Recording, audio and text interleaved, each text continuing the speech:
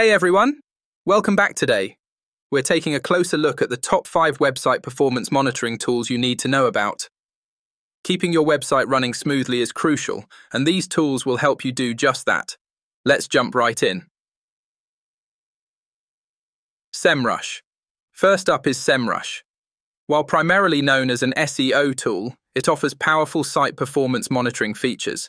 Its highlights include comprehensive site audits to identify performance issues, keyword tracking to see how your site's speed affects rankings, competitor analysis to benchmark your performance, uptrends.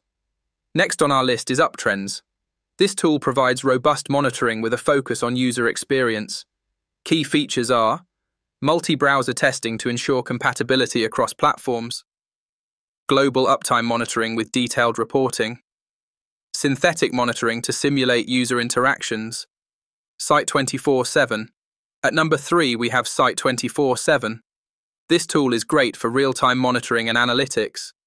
Here's what it offers website availability monitoring with alerts, page speed monitoring that breaks down loading times, application monitoring to track back end performance, SpeedCurve. Fourth on our list is SpeedCurve. It provides insights not just into speed but also user experience.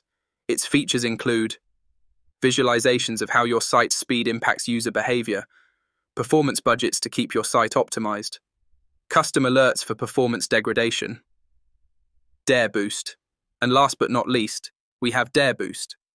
This tool stands out for its detailed reports and recommendations.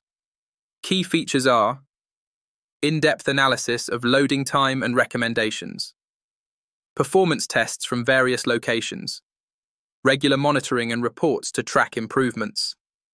There you have it five powerful tools to monitor your website's performance. If you enjoyed this video, hit that like button, subscribe, and let us know in the comments which tool you're excited to try out.